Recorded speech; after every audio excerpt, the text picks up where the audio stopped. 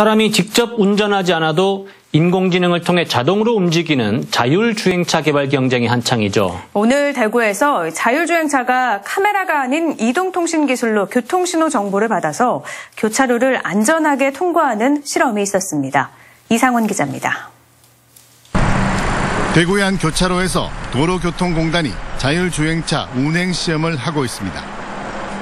카메라 도움 없이 안전한 교차로 운행이 가능한지 입증하는 실험인데요. 제가 직접 자율운행 차량에 타보겠습니다.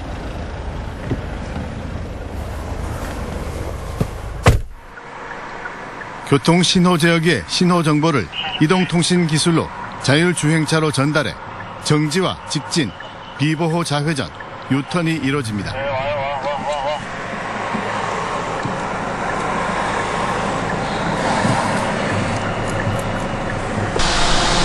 보행자가 신호등이 설치된 도로를 건널 때 안전하게 우회전하는 실험도 진행됩니다.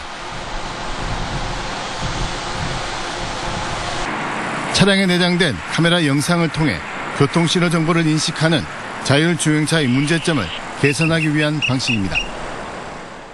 역광이라든지 또 신호등 같은 경우는 이제 그 깜빡거리는 플리커 현상들도 그 영상으로 인식하는데 한계가 있는 부분들이거든요. 근데 사실 그런 부분들을 극복할 수 있는 가장 좋은 방법이 인프라에서 그 신호의 정보들이나 어떤 시설의 정보들을 디지털화해서 통신으로 전송해주는 방법입니다.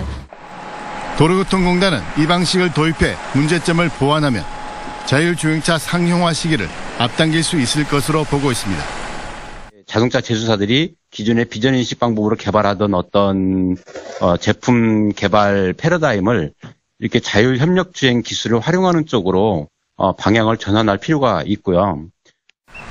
이와 함께 자율 주행차를 위한 실시간 신호 정보를 유지 관리할 수 있는 허브 센터 구축 등 국가적 차원의 지원이 필요하다고 밝혔습니다. MBC 뉴스 이상원입니다.